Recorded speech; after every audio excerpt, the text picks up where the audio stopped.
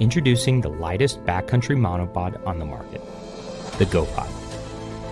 Weighing just 2.6 ounces, it's lighter and more versatile than anything else available. Its simple design allows it to be quickly deployed, and the double backing Velcro creates a solid hold.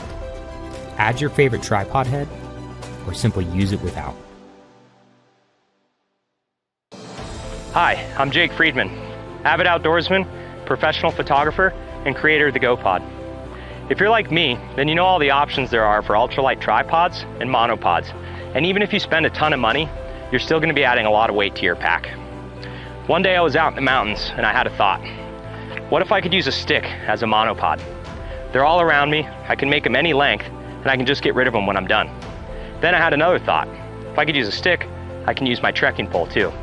So over the next two years, I invented and field tested the GoPod myself and I can firmly say it's the lightest and most versatile monopod solution available. With the universal quarter inch screw and half inch adapter, you can use it with anything. A ball head, binocular mount, pistol grip, anything that will screw onto a tripod can screw onto the GoPod. Support our campaign and help fund the next big thing in ultralight camera gear, and be one of the very first to own your very own GoPod. Thanks for watching.